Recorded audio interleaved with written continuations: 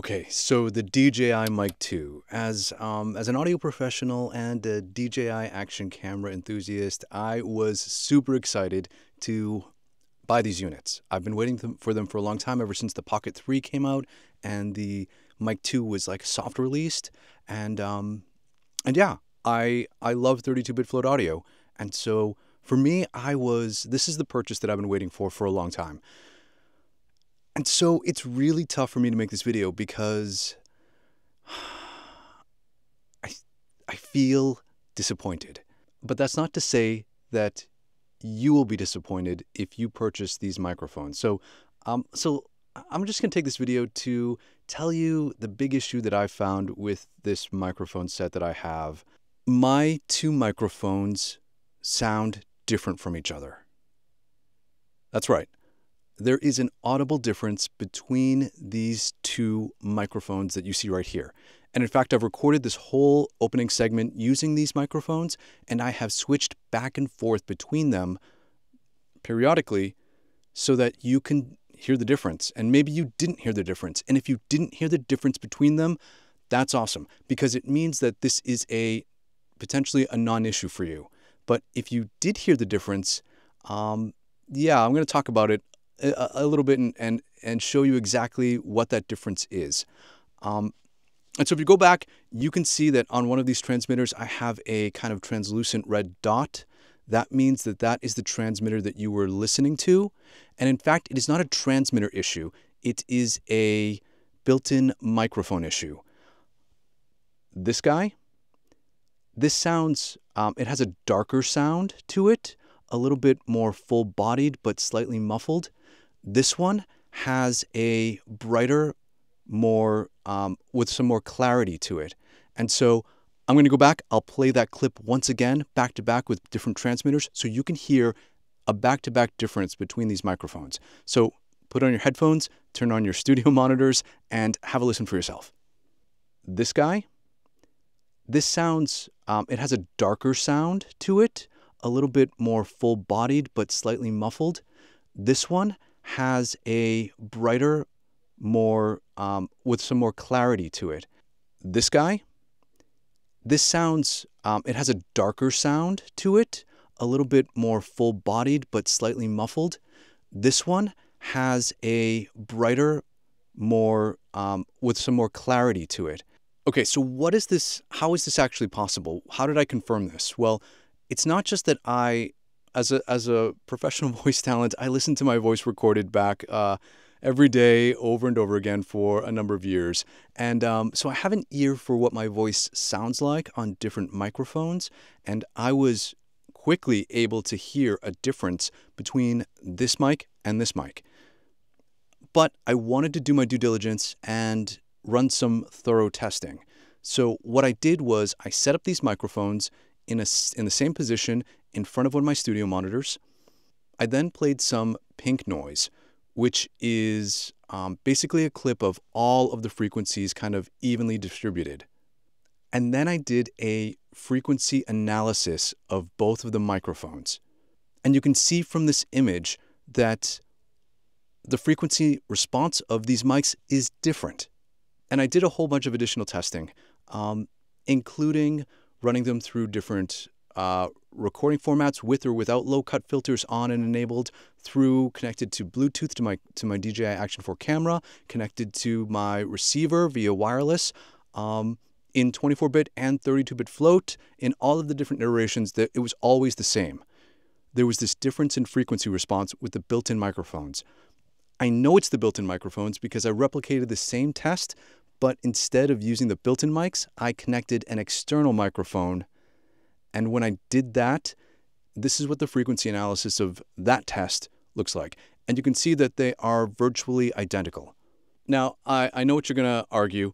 Um, between any microphone, there is going to be some variation in the manufacturing process, and um, and these are not advertised as matched pairs, which in the audio world means that uh, the manufacturer takes two microphones and they make sure that the sound signature and frequency responses are nearly identical so that you can do matched pair stereo recordings with them. And DJI never says that these are matched pairs. But for them to tout them as pro audio level, but then to have audible differences between each microphone, uh, it feels uh, it feels a little less than pro. And I know what you're thinking. Maybe I just got a bad set. Maybe it's a quality assurance issue, a quality control thing, and maybe one of them is defective, um, and and I just got unlucky. But what are the chances of the thousands and thousands and thousands of units that they've shipped out that the one defective unit goes to me, the audio person who is going to run through these tests and hear these differences? Um, and that's not to say that one is bad or that one is broken because I, I don't know. They just sound different. This one sounds darker, this one sounds brighter. It's not a right or wrong situation, it's a difference in how they sound. And for the majority of people out there who uh, you might not even know that they potentially could sound different, your pair might not sound different. Um, your use application, it might not matter to you. But for other people who are going to be using this in paid work, professional work, it could matter. Because if you have a microphone that is a little darker and you have a microphone that is a little brighter, and you're doing a two person interview with two people with different voices, and one of them has a lower voice and one of them has a higher voice, man, it just gets to be a nightmare when it comes to editing all of your stuff in post because you don't have that reliability to get consistent recordings every time you go out in the field. Right? What if you had to do pickup recordings and you had to remic people, but you don't know which one you mic them up with? Side note, I do have a way of distinguishing which one of mine is the brighter one and darker one. Um, the magnetic clip on the back has two images. My darker microphone gets the dark DJI logo. My brighter microphone gets the light DJI logo. So ultimately, what does this mean for you and me and DJI? Well, I do have an email out to DJI saying, "Hey, here here's my issue with the microphones that I just purchased. Um, here are the screenshots of the frequency responses that you can see that my mics are different. Is it a quality assurance thing? What is what is the resolution to this?"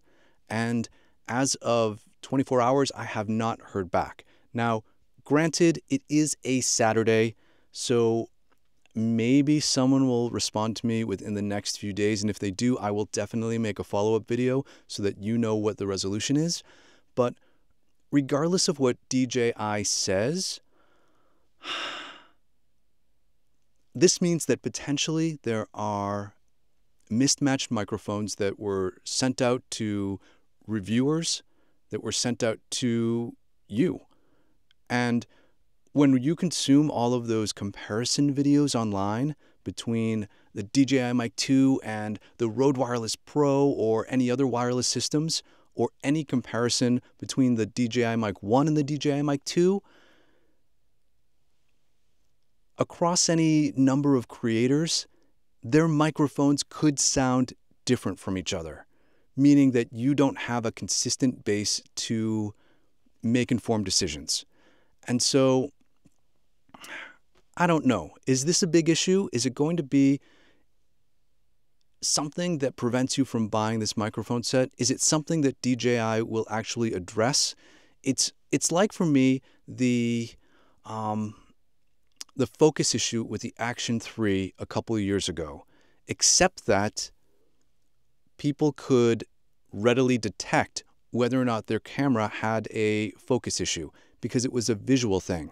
Because this is an audio thing and one isn't better than the other, and everyone's voice is different and everyone's recording environment is different, this could just go undetected, right? You could be living in the Matrix happily with your DJI Mic 2 and never know that your microphones sound different from each other because you've never used them in a situation where you had to compare them directly. But in the words of a, a great philosopher, if you don't know, now you know. And so let me know in the comments below. What do you think about this issue? Is it a is it a deal breaker for you? Am I just being nitpicky when it comes to what I consider to be pro audio? Uh, what could DJI do about it? I I don't know, but I'd love to hear your thoughts to continue the conversation down below. If you have any other questions, I will be making potentially additional videos about the DJI Mic 2. Um, but until I sort out why these microphones sound different, uh, those videos might be a little while in their release. But otherwise, thanks so much for entertaining my conspiracy theory about the Mic 2, uh, and we'll talk again real soon.